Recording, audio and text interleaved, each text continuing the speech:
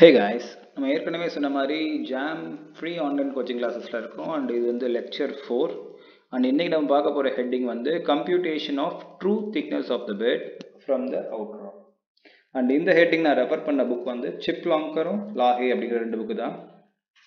And இது வந்து structural geology போர்ஷனில் வருது. இந்த computation of true thickness of the bed from the outcrop okay so first ஒரு அவுட் ட்ராப்னா என்ன பார்ப்போம்? ஒரு அவுட் ட்ராப் அப்படின்னா இதுதான். ஸோ இது ஒரு ஃபோல்டட் ராக் ரைட் ஸோ இந்த போர்ஷன் சர்ஃபேஸில் எக்ஸ்போஸ் ஆகிருக்குல்ல அதுக்கு பேர் தான் outcrop and width of the outcrop அப்படின்னா இந்த டூ சர்ஃபேஸ் இருக்குல்ல அதோட டிஸ்டன்ஸ் மெஷர் பண்ணி சொன்னோம் அப்படின்னா width of the out drop ஒரு லெவல் கிரவுண்டில் என்ன ஆகுது அப்படின்னா அந்த ராக்கோட டிப்பை பொறுத்து வித் மாறுது ரைட்டா இதே ஒரு அன்ஈவன் கிரவுண்டாக இருந்துச்சு அப்படின்னா வித்து வந்து அந்த கிரவுண்ட் ஸ்லோப் கண்ட்ரோல் பண்ணுது.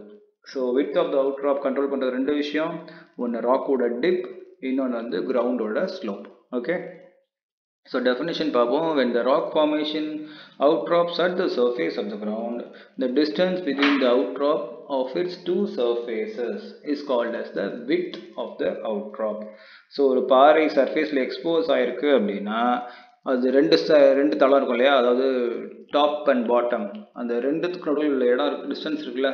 அதை மெஷர் பண்ணிங்கன்னா அதுக்கு பேர் தான் width of the outcrop is that clear so first term முடிஞ்சு அடுத்து ட்ரூ திக்னஸ்னு ஒரு வார்த்தை இருக்குது அதுக்கு என்ன அர்த்தம் அப்படின்னா the distance measured perpendicular to the upper and lower contact of the tabular unit so இது ஒரு டேபிளார் யூனிட் ரைட்டா ஸோ இது ஒரு லோவர் கான்டாக்ட் இது அப்பர் கான்டாக்ட் இந்த கான்டாக்டுக்கு செங்குத்தாக நம்ம திக்னஸ் மெஷர் பண்ணோம் அப்படின்னா அதுக்கு வரக்கூடிய திக்னஸ்க்கு பேர் ட்ரூ திக்னஸ் ஸோ இந்த இடத்துல நம்ம இப்படி மெஷர் பண்ணுவோம். ஆனால் இங்கே வரும்போது என்ன ஆகும்னா இது பெட்டிங் பிளேனா அப்போ இது செங்குத்தானா? இந்த டைரக்ஷனில் மெஷர் பண்ணுவோமா? ஸோ இங்கே வேறு மாதிரி மெஷர் பண்ணுவோம் இங்கே மெஷர் பண்ணுவோம். ஸோ இங்கே இது மெஷர் பண்ணுறது ட்ரூ திக்னஸ் இங்கே இந்த பெட்டிங் பிளேனுக்கு செங்குத்தாக இப்படி மெஷர் பண்ணோம்னா அது ட்ரூ திக்னஸ் அப்போ இன்னொரு டேர்ம் வரும் வெர்டிக்கல் திக்னஸ் அது வெர்டிக்கல் திக்னஸ் நம்ம மெஷர் பண்ணுற திக்னஸ்ஸே வெர்டிக்கலாக இருந்துச்சு அப்படின்னா அது பேர் வெர்டிக்கல் திக்னஸ் அதாவது vertical distance between the upper and lower contact of a non horizontal unit so இது ஹரிசாண்டல் ஸோ இந்த பொறுத்த வரைக்கும் இப்படி வராது. பட் இது நான் ஹரிசாண்டல் ஏன்னா இன்க்ளைண்டாக இருக்கு இல்லையா? ஸோ இந்த இடத்துல நீங்கள் செங்குத்தாக மெஷர் பண்ணீங்க அப்படின்னா அது வெர்டிக்கல் திக்னஸ் பெட்டிங் பிளேனுக்கு செங்குத்தாக மெஷர் பண்ணீங்க அப்படின்னா அது ட்ரூ திக்னஸ் இது இன்னும் கிளியர் ஆகலைன்னா அப்படின்னா நெக்ஸ்ட் வரக்கூடிய ஸ்லைட்ஸில் கிளியர் பண்ணுறேன் செக் பண்ணிக்கோங்க. இது இன்னொரு பாயிண்ட் இருக்குது என்னென்னா the vertical thickness is equal to the true thickness when the unit is horizontal அதாவது இந்த லொக்கேஷன் சொன்னோம் இல்லையா? ஹரிசாண்டல்னு ஸோ இதை பொறுத்த வரைக்கும் வெர்டிக்கல் திக்னஸும் இதுதான்.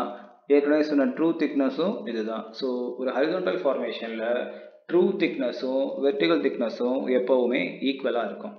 Is the clear so first example எடுத்துப்போம். இதுதான் ஒரு ஹரிசாண்டல் ஃபார்மேஷன் ஸோ இந்த லைன் வந்து உங்கள் கிரவுண்டோட ஸ்லோப் ஓகேவா அண்ட் இதுதான் அந்த ராக்கோட திக்னஸ் அண்ட் இதுதான் அந்த ராக் ஃபார்மேஷன் ஓகேவா ஸோ ராக் ஃபார்மேஷன் இந்த டிஸ்டன்ஸ் வந்து ராக் ஃபார்மேஷனோட திக்னஸ் அண்ட் இது வந்து கிரவுண்ட் ஸ்லோப் புரிஞ்சுச்சா? நமக்கு ஏற்கனவே தெரியும் ஒரு ஹரிசாண்டல் ஃபார்மேஷனில் ட்ரூ திக்னஸும் வெர்டிக்கல் திக்னஸும் ஈக்குவல் ரைட்டா ரைட் அப்படி இருக்கும்போது தனியாக ட்ரூ திக்னஸ் வெர்டிக்கல் திக்னஸ் சொல்லணும் அவசியம் இல்லை. ஜஸ்ட் திக்னஸ்னு போட்டாலே போதும். அண்ட் திக்னஸ் எப்படி எந்த டிஸ்டன்ஸு ஏசி அப்படிங்கிறது ரைட்டா அண்ட் நமக்கு தெரியும் ஒரு பெட்டிங் பிளெயினுக்கு செங்குத்தாக மெஷர் பண்ணுறோம் இல்லையா? அதான திக்னஸ் சொன்ன ட்ரூ திக்னஸ்னு ஸோ இது பெட்டிங் பிளெயின் இதுக்கு செங்குத்தாக இது இருக்குது அப்போ என்ன ஆகும்னா இந்த ஏபிசிங்கிறது ஒரு ரைட் ஆங்கிள் ட்ரையாங்கிள்னு சொல்லாமா? அப்படின்னு இருக்குது ஸோ இந்த ஏபிசி அப்படிங்கிறது ஒரு right angle triangle is the clear so அப்படி இருக்கும்போது என்ன ஆகும்னா இந்த ட்ரிக்னாமெட்ரிக் ஃபங்க்ஷன்ஸ் நாங்கள் யூஸ் பண்ணலாம். உங்கள் சைன் தீட்டா ஞாபகம் இருந்துச்சுன்னா தெரியும். சைன் தீட்டா தீட்டா இருக்கா? So inclination so theta is ஈக் sine theta is equal to opposite by hypotenuse so இதுக்கு ஆப்போசிட்டில் இருக்கிறது thickness of the formation hypotenuse என்ன ஞாபகம் இருக்கா? கிரவுண்ட் ஸ்லோப்பில் ஒரு ராக்கோட ரெண்டு ரெண்டு பாயிண்ட் எக்ஸ்போஸ் ஆயிருக்கு இல்லையா? இதுக்கு பேர் என்ன சொன்னோம்? Width of the outcrop so உங்களுக்கு ராக்கோட width of the out drop தெரிஞ்சிருந்துச்சு அப்படின்னா அது போக அந்த கிரவுண்டு ஸ்லோப் இருக்குல்ல இது எத்தனை டிகிரின்னு தெரிஞ்சிச்சு அப்படின்னா தாராளமாக உங்களால் திக்னஸ் ஆஃப் த ஃபார்மேஷனை கேல்குலேட் பண்ண முடியும். So ஏசிங்கிறது thickness of formation is equal to AB அப்படிங்கிறது width of the formation into sine theta அந்த தீட்டாங்கிறது என்னது? Slope of the ground so இப்படி தான் ஒரு horizontal ஃபார்மேஷனுக்கு width of the out crop கிடச்சிது அப்படின்னா நம்மளால் திக்னஸை கேல்குலேட் பண்ண முடியும். இஸ் தட் கிளியர் ஓகே இது கிளியர் ஆகிடுச்சுன்னா அடுத்த ஹெட்டிங் போகும். அது கொஞ்சம் இதில் காம்ப்ளெக்ஸ் ஆகும். அதுதான் வந்து இன்க்ளைன்டு ஃபார்மேஷன் ஸோ இன்க்ளைன்டு ஃபார்மேஷனில் கிரவுண்ட் சர்ஃபேஸ் ஹரிசாண்டலாக இருக்குது ராக் ஃபார்மேஷன் இன்க்ளைண்டாக இருக்குது ஓகேவா அப்படி இருக்கும்போது கிரவுண்ட் சர்ஃபேஸு ஹரிசாண்டலாக இருக்குன்னு சொன்னோமா? ஸோ இதுக்கு செங்குத்தாக மெஷர் பண்ணுறது தான் வெர்டிக்கல் திக்னஸ் புரிஞ்சா? அப்போ இந்த லைன் இருக்குல்ல பெட்டிங் பிளேனுக்கு செங்குத்தாக மெஷர் பண்ணுறது இதுதான் ட்ரூ திக்னஸ் ஸோ ஒரு ஹரிசாண்டல் ஃபார்மேஷனில் தனித்தனியாக பார்க்கல. ட்ரூ திக்னஸ் வெர்டிக்கல் திக்னஸ்லேயே ரெண்டுமே சேம் ஆனால் ஒரு இன்க்ளைன் ஃபார்மேஷனில் ட்ரூ திக்னஸ் வேறு வெர்டிக்கல் திக்னஸ் வேறு. ஸோ இந்த கேஸில் பார்த்தீங்க அப்படின்னா சர்ஃபேஸுக்கு செங்குத்தாக மெஷர் பண்ணுறது அதாவது ஒரு வெர்டிக்கல் லைனில் மெஷர் பண்ணுறது வெர்டிக்கல் திக்னஸ் பெட்டிங் பிளேனுக்கு செங்குத்தாக மெஷர் பண்ணோம் அப்படின்னா ட்ரூ திக்னஸ் ஓகேவா ஸோ அண்ட் அது போக வந்து இந்த ராக்கோட டிப் இருக்குல்ல? ஸோ இதுதான் அந்த டிப் புரிஞ்சா? ஸோ ஒரு இன்க்ளைன் ஃபார்மேஷனில் வெர்டிக்கல் திக்னஸும் ட்ரூ திக்னஸும் சேம் கிடையாது. ஸோ நம்ம கண்டிப்பாக மென்ஷன் பண்ணும்போதே வெர்டிக்கலாக ட்ரூவான்னு பார்க்கணும். ஸோ ஃபஸ்ட்டு வெர்டிக்கல் திக்னஸ் எடுத்துப்போம்.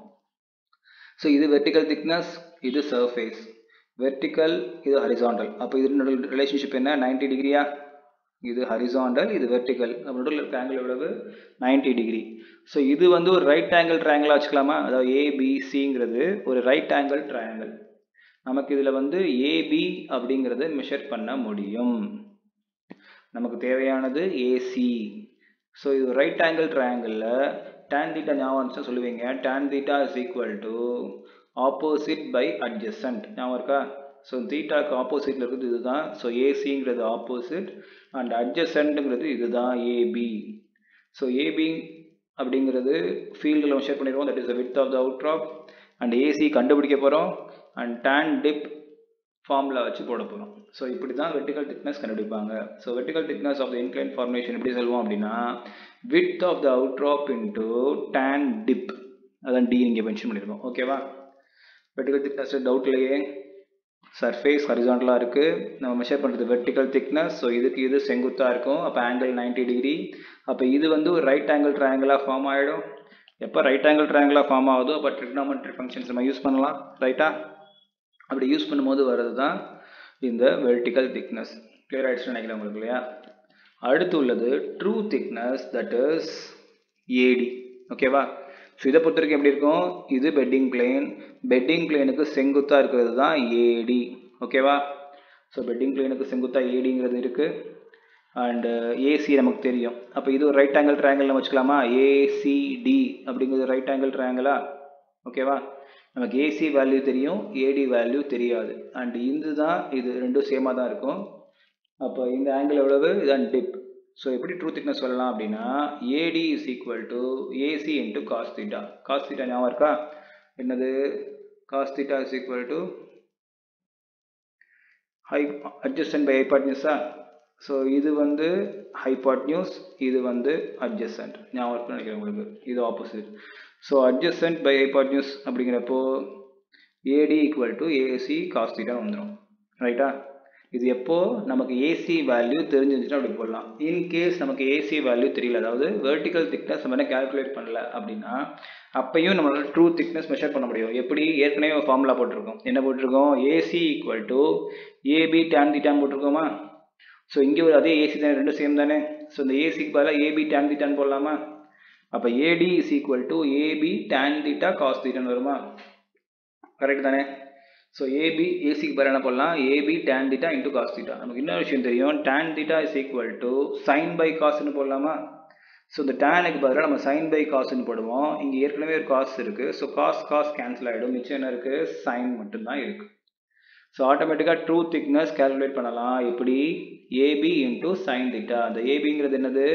Width of the out drop தெரிஞ்சால் போதும். டிப் அவனோட அமௌண்ட் தெரிஞ்சு தாராளமாக நம்மளால் ட்ரூ திக்னஸ் கேல்குலேட் பண்ண முடியும். ஸோ நமக்கு வந்து டிப் அமௌண்ட் தெரிஞ்சு width of the out drop தெரிஞ்சால் ஒரு இன்க்ளைன் ஃபார்மேஷனுக்கு வெர்டிக்கல் திக்னஸும் ட்ரூ திக்னஸும் கேல்குலேட் பண்ண முடியும். அப்படி தானே is that clear okay so இதுக்கு ஒரு சம் தரலான்னு நினைக்கிறேன். ஃபஸ்ட்டு கேஸுக்கு வந்து இந்த இதுக்கு வந்து நம்ம என்ன சொல்கிறோம் அப்படின்னா கிரவுண்ட் ஸ்லோப் வந்து தேர்ட்டி டிகிரி அப்படின்னு வச்சுக்கோங்க. And width of the out drop வந்து say twenty five twenty five மீட்டர்னு வச்சுக்கோங்க. அண்ட் இதுக்கான ஆன்சர் கால்குலேட் பண்ணி கமெண்ட் செக்ஷனில் போடுங்க. இப்படி போட்டால் தான் எனக்கு தெரியும் தமிழ் எடுத்து பார்க்குறீங்க அப்படின்னு இல்லையா? ஸோ எனக்கு தெரிஞ்சுக்க தான் நான் கேட்குறேன் இந்த கொஸ்டினை ஸோ கிரவுண்ட் ஸ்லோப் வந்து தேர்ட்டி டிகிரி வித் வந்து twenty five metre is that clear இந்த சம் மட்டும் போட்டு பாருங்கள் அண்ட் ஆன்சர் கமெண்ட் செக்ஷனில் போடுங்க. அப்போ தான் தெரியும் எத்தனை பேர் வந்து இந்த ஃபாலோ பண்ணுறீங்க தமிழில் அப்படின்னு. ஓகேவா ஸோ இங்கிலீஷ் கூட இந்த சம் கேட்கல தமிழில் மட்டும்தான் சம் கேட்டிருக்கேன். ஸோ நிறைய பேர் வந்து குரூப் வாட்ஸ்அப் குரூப் ஆரம்பிங்க அப்படின்னு சொல்லியிருந்தீங்க. ஸோ உங்களுக்கு வாட்ஸ்அப் குரூப்பில் ஜாயின் பண்ணணும்னு ஆசை இருந்துச்சு அப்படின்னா உங்கள் நேம் உங்கள் காலேஜ் யூனிவர்சிட்டி நேம் அந்த எந்த கிளாஸ் படிக்கிறீங்க எந்த ஊரில் இருக்கீங்க இதெல்லாம் வந்து எனக்கு மெயில் பண்ணுங்கள் minimum number of students mail பண்ணதுக்கப்புறம் வாட்ஸ்அப் குரூப் ஆரம்பிச்சிருவோம். ஓகேவா அண்ட் என்னோட வீடியோஸ் எல்லாம் கேட்டகரி பண்ணி பிளேலிஸ்ட்டில் குரூப் பண்ணி வச்சுருக்கேன். ஸோ உங்களுக்கு தேவைன்னா நீங்கள் எப்போனா க்ராஸ் செக் பண்ணி பார்க்கலாம். அண்ட் எங்களை கனெக்ட் பண்ணலாம்னு நினச்சிங்கன்னா இதான் எங்களோட email address Facebook ID and Instagram ID and எங்களுக்கு சப்போர்ட் பண்ணணும்னு நினச்சிங்கன்னா எங்கள் வீடியோஸை லைக் பண்ணுங்கள் ஷேர் பண்ணுங்கள் சப்ஸ்கிரைப் பண்ணுங்கள் தேங்க்ஸ் ஃபார் வாட்சிங் ஹாவ் அ கிரேட் டே